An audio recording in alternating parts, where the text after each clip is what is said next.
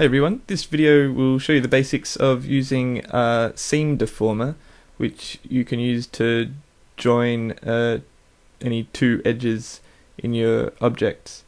Uh, to start with we need to be using a polygon object so we have to make this editable. You can press C to do that um, and then we create start creating our edge selections. I'm going to select the top half and the bottom half of this cylinder's outer edge separately. Uh, so then go to select, set selection, make sure you deselect this tag before we start on our other selection so we don't overwrite it. Then we'll start on the other one.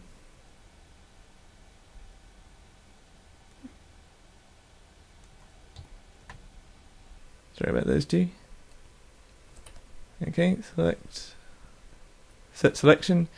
Uh, then we add the seam deformer to our object. We see in here uh, some fields where we put in our selection tags. And we see it's joined us, joined our edges up that we've selected. We can animate how far open that is, and we can also uh, ask the deformer to spread the influence further. So as as we close our seam uh, it's bending more of the object.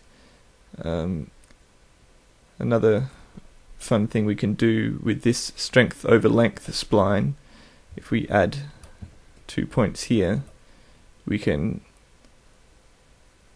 zip our object up by animating that spline across.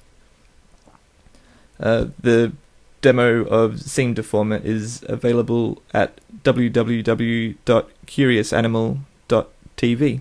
Thanks.